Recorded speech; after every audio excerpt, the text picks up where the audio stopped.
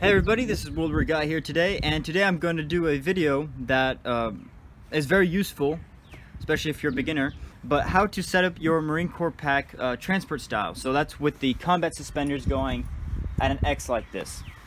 Um, it's actually very simple once you understand how to do it. It's just knowing how to do it is a bit complicated, but it's, it's pretty simple, so don't stress about it. So I'm going to show you how to do it, and you'll realize how easy it is. So let's hop right to it.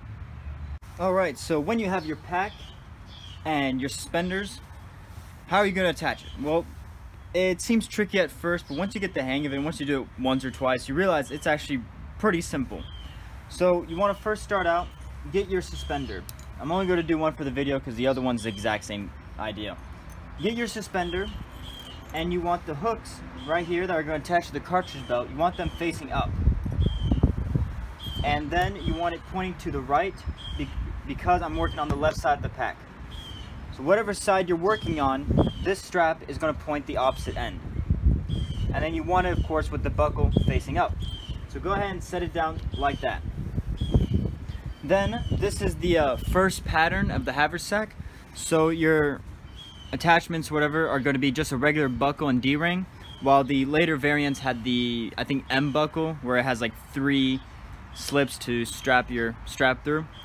So what you want to do is just have it all extended and let me bring that closer. You want the strap to go through the buckle and through the D-ring once and then wrap it around and have it go under the strap into the buckle again and then you just adjust it from there for your um, or for your size and everything. So once you have that set up, just set it up now. You'll worry about the adjustment later. Go ahead and get it like that and just set it down flat. Or actually don't set it down flat. Strip it through your O-ring from the combat suspender, like so. Alright, so we still have in our same setup. And then you have this strap on the shoulder.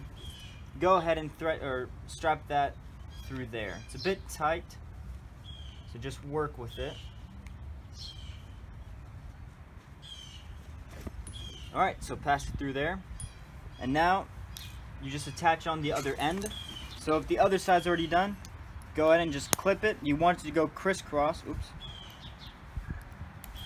You want it to go crisscross on the back of the pack. So the left side meets with the right side.